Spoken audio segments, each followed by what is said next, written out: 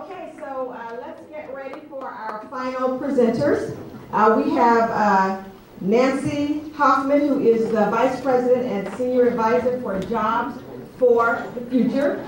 And then after Nancy, we will hear from uh, Bill Taylor, who is the Associate Vice President and um, Network Engagement and Growth from the National Academy Foundation. We are delighted to have both of these speakers with us today. Thank you for being here. Thank you, Nancy.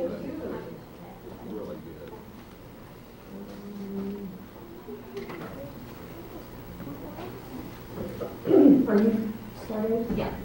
Here we go. Okay. So, I am, I'm delighted to be here. Um, I think Tony probably told you I was flying overnight.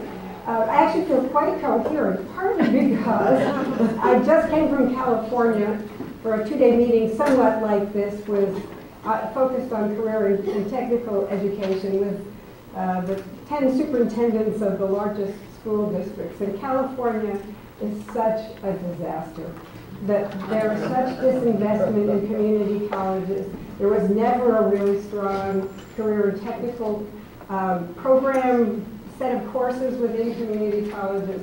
The system's really broken and they have an enormously needy population. So to walk into a room where people are actually talking about strategies, pedagogy, workforce needs, and not simply saying we have no money and we turn away 200,000 students was enough to wake me up and make me feel cheerful. uh, I will tell you also, everything worked perfectly until I got off the plane and the taxi driver got lost getting here. he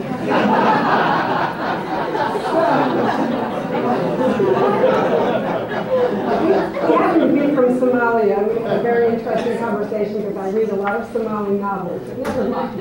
Uh, so, um, I actually going to do two things here. One is answer the second question that Tony and company posed uh, very quickly, which is the question about whether young people should have uh, should choose a career early. And my answer to that, and it will, you'll see why I say that, is that people, young people need work experience.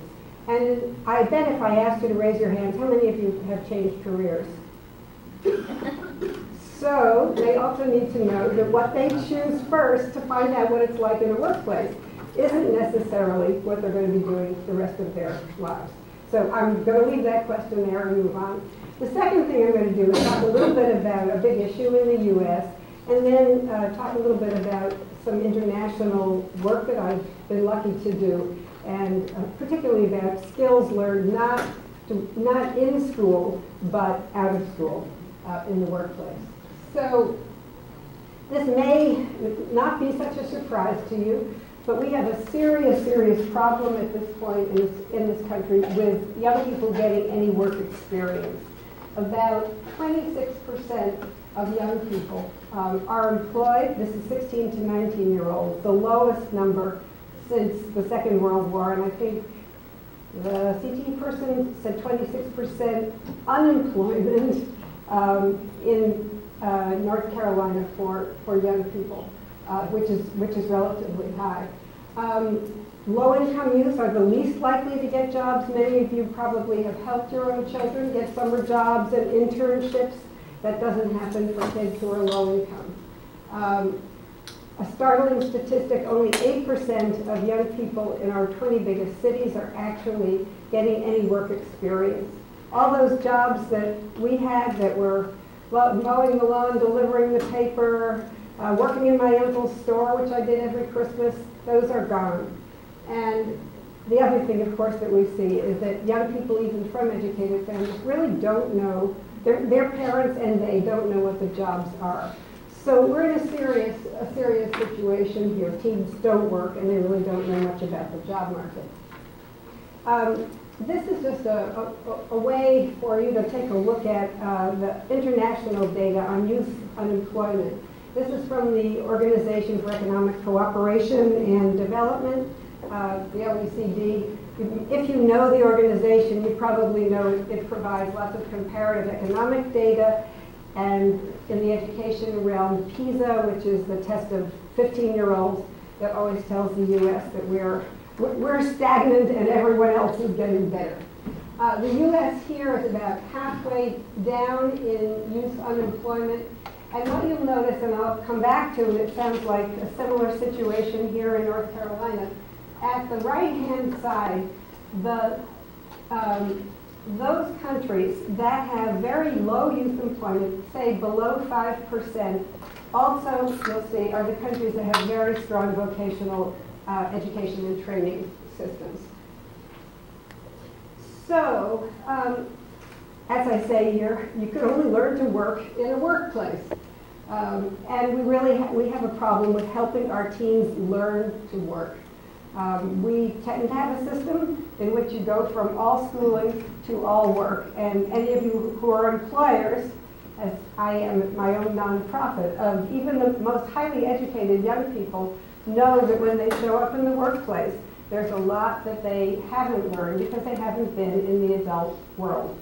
Some of this we can do in school with project-based learning, the kind of techniques that your, I, what's your, I lost it, what Bob was talking about, um, but nothing substitutes for real workplace experience.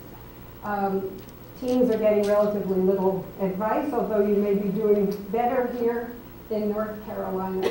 Um, and, and, as I said, educated parents don't know a lot about the work, the workforce. Um, so,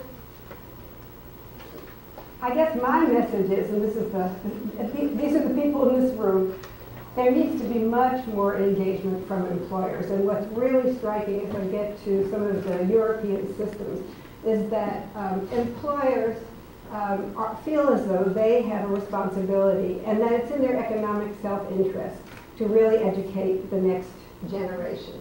Um, so employers here can provide some of the things that I heard already, job shadowing, internships, apprenticeships, but it needs to be done much more systematically and um, with a real attention to what happens to students when they're in the workplace. Um, a number of countries actually require that 16 to 19 year olds have workplace experience and that younger students all have some form, maybe two weeks in the workplace um, I was just in um, France, and um, the 13-year-old son of uh, a friend of mine was off trying to figure out what he was going to do for his two-week uh, internship. So, as I've said, the countries with low unemployment have um, very strong vocational systems. There's a social compact between the education system, the government, and employers that says that it's the obligation to support young people. And uh, these, the thing that I, in writing my, the book that I just finished called Schooling in the Workplace, I tried to anticipate a lot of U.S. questions. And one of them is that in the European systems, people think that you're trapped into a plumbing trap and you're there the rest of your life. Now, in the strong vocational systems, there are pathways that go from uh, 15 or 16 year olds through to a PhD, and those pathways are transparent, and many young people know that the best way to get a, a job, even if it's in, in technology or engineering, is through a workplace in uh, work, workplace experience. Um, this may surprise you. In the countries with strong vocational systems, this is not a track for low-performing students. Between 40 and 75 percent of students um, are in a, such a system. Switzerland perhaps has the best system in the world, and that's the majority system. Also a very vibrant economy. Netherlands, the same. So I'm going to just spend my last couple of minutes here on the question of what kinds of skills need to be learned in the workplace, because just putting young people into a workplace is not necessarily what's going to teach them what they need to know. This is probably the greatest challenge once you have your, your, your work placements for students. So, um, and this, this probably will make it very, will, will be clear to all the employers in the room, but curriculum is, has to replicate what a real workplace is like. That is, things happen in real time that you don't expect. People get angry, and you have to deal with customers. Um, situations don't have neat solutions. Many things have to get integrated. And these are the kinds of problems that the curriculum needs to address. Switzerland, again, I'm using as an example. And by the way, Switzerland may surprise you. 25% of their young population are born outside of Switzerland, so it is not, you know, all little white people in, in yodeling outfits. um, it's a very diverse population, and, and they've taken their education system very seriously. So they, even though employers, about a quarter of whom take in apprentices who are three days in a company and two days in school, um, and they are not paid because their bottom, their bottom line, the company's bottom line increases from having these young people over a period of three years.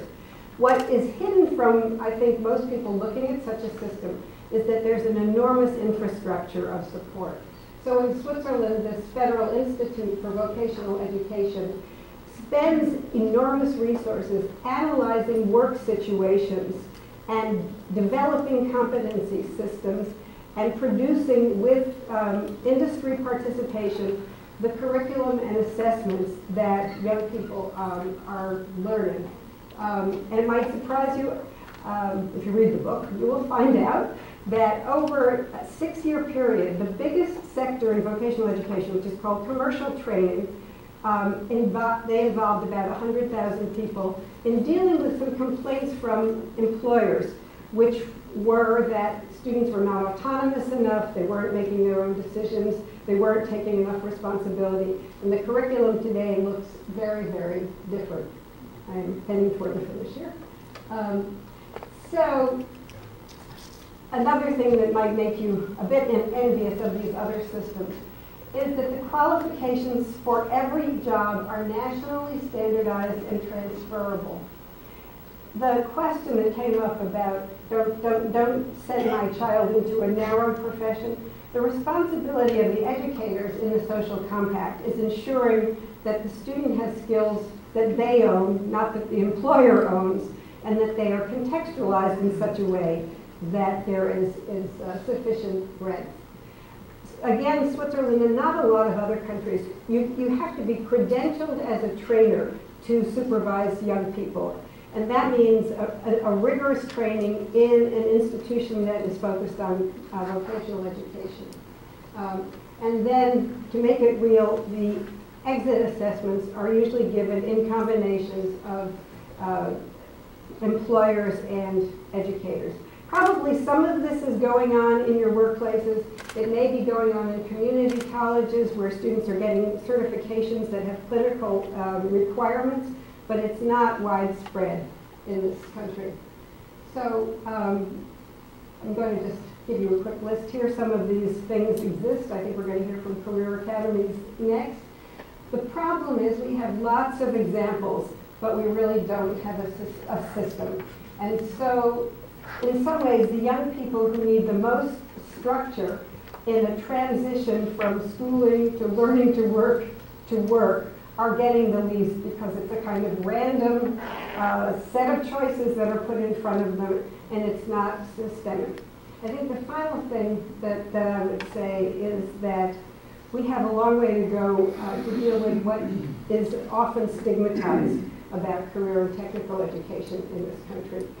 And I think this may simply seem like semantics, but in traveling around the country, one of the things that I am seeing is the focus on STEM, under which a lot of, the same technical skills exist as in career and technical education, is really a way of helping parents, teachers, the community at large see that technical skills are not dead-end skills these days. Those are the sine qua non for almost everyone.